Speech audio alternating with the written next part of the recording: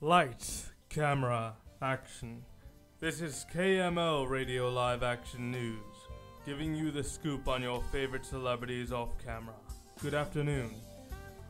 It's a cloudy 64 degrees on this Tuesday, April 14, 2015. I'm Kevin Mohammed, and here are today's top stories. Famous musician Percy Sledge has died at the age of 74. Popular Marvel cinematic piece Avengers Age of Ultron premiered last night. David Spade's comedy film Joe Dirt sequel confirmed for this summer. Our American Cousin to be staged a comeback after 150 years. Piano Man idol Billy Joel is expecting a second child on the way. The news time is 411. Soul singer Percy Sledge passed away earlier today at the age of 74.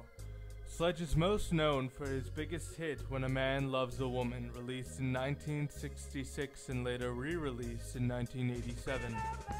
The song topped number 1 on US Hot 100, US R&B, and Canada. Sledge has been reported to have died of natural causes in Baton Rouge, Louisiana. Some of Sledge's other hits include Sunshine, Warmer and Tender Love, and It Tears Me Up. Movie fans have assembled once again. One of the most anticipated movies of the year, Marvel's Avengers Age of Ultron, made its world premiere Monday night. Every superhero known to the galaxy appeared on the Hollywood red carpet to promote the first screening of the film.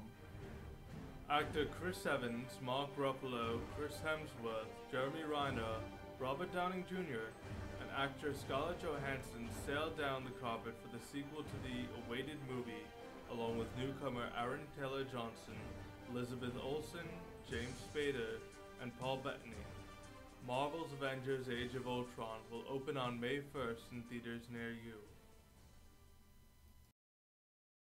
No, man, but you got to keep going. What am I going to do? Quit? That's not an option. You got to keep on keeping on. Life's a garden, dig it? You make it work for you.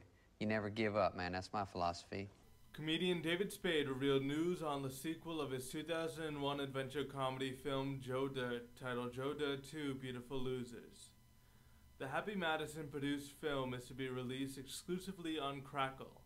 The man behind Joe Dirt, David Spade, talked to Entertainment Weekly about the film, saying, Joe keeps on keeping on. He's married now and doing his best, but things don't all go perfect for him, as usual. Dirt 2 Beautiful Losers will be posted on Crackle this summer.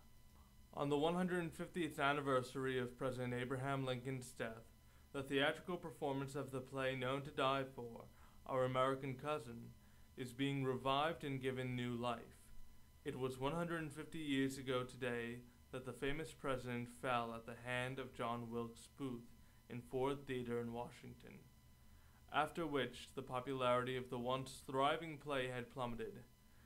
Now, the production of Our American Cousin is being brought into new life and hopefully shedding a new light on Lincoln's last night. Some locations of the revival include Richmond, Pittsburgh, and Lincoln's hometown of Springfield, Illinois.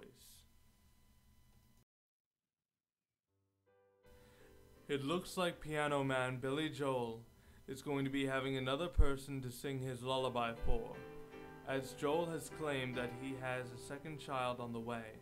Joel claims that his girlfriend Alexis Roderick is pregnant and is expecting their first child in the coming summer. Joel has already one daughter, singer and songwriter Alexa Ray. Further details on the pregnancy are currently being withheld by the couple until it becomes closer to the date of conception. This has been KMO Radio Live Action News.